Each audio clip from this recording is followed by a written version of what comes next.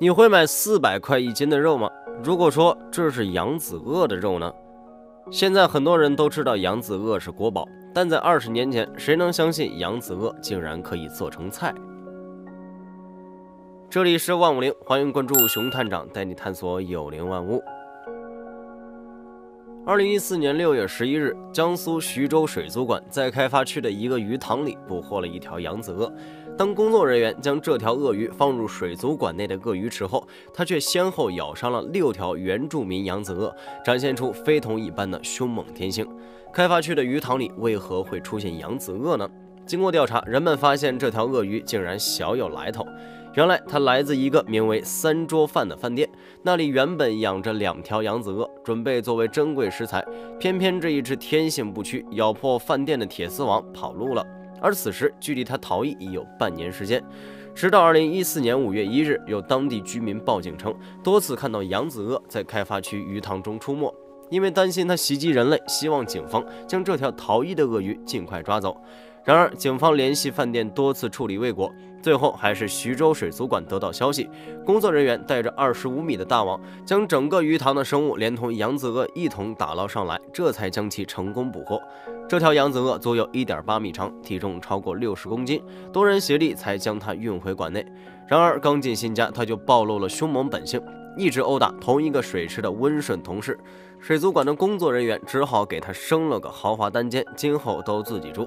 凭借着我命由我不由天的个性以及工作人员的细心帮助，这条扬子鳄最终逃脱了被送上餐桌的厄运。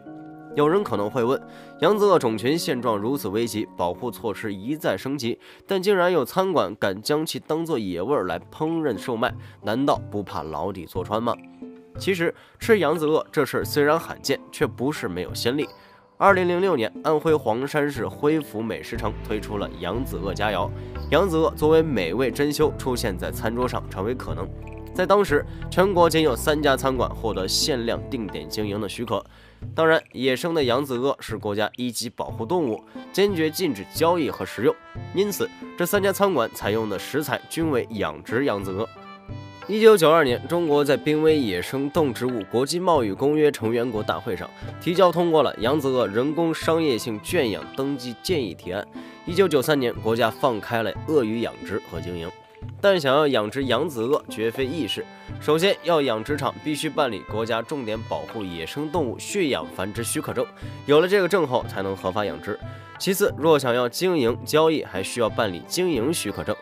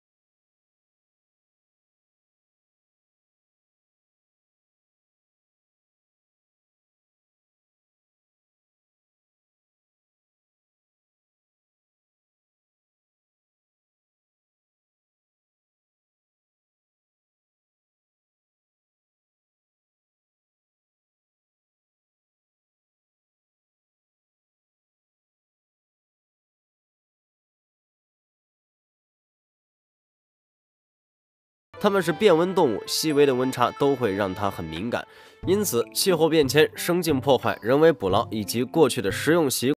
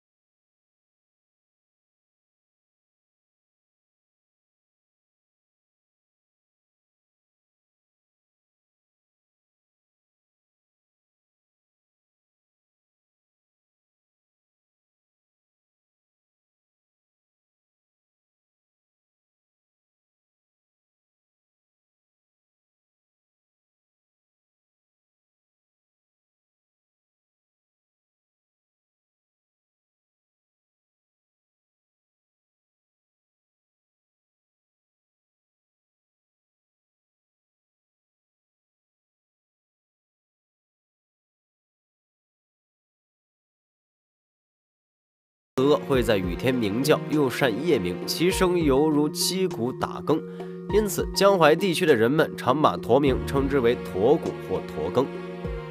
雷神或雷兽，其原型就是驼龙，是古人根据它鸣叫的规律创造出的神话形象。《诗经·大雅》中“驼鼓庞庞，猛叟奏功”是我国较早对鼓的描述。正是由于驼鸣犹如鼓音，古人便剥取扬子鳄皮制成鼓，又或在鼓面上铸驼皮纹。猎驼蒙古最早可追溯到氏族时期，随后逐渐从打击乐器演变为礼器和军鼓。对扬子鳄，除了做成鼓，古人也和现代人一样爱吃它的肉。《玉定渊见内涵》引用晋人郭义公广志说：“驼鱼有四足，尾如岩岩而大，南方嫁娶必得食之。”《本草纲目》则写道：“男人珍其肉，以为嫁娶之敬。”这都是在说，古时南方人结婚的时候，席面上必须有扬子鳄肉作为宴请珍品。《千金方》中收有驼甲汤，用于治疯癫。《本草图经》中记载。男人食其肉，云色白如鸡，但发冷气故疾。因此可见，古人还将驼肉入药。据记载，扬子鳄的皮肉作为一味中药材，主治正甲、肝逆、恶疮溃烂。由此可见，扬子鳄不管什么时候在中国都享有很高的地位。虽然古代的它威武又凶猛，到现代就被人说是身娇体弱，只会吃雪饼，但是没有人能改变它将一直是中国国宝的事实。非常感谢您看完本期万物灵，欢迎点赞、评论加关注，您的关注是熊探长探秘的最大动力。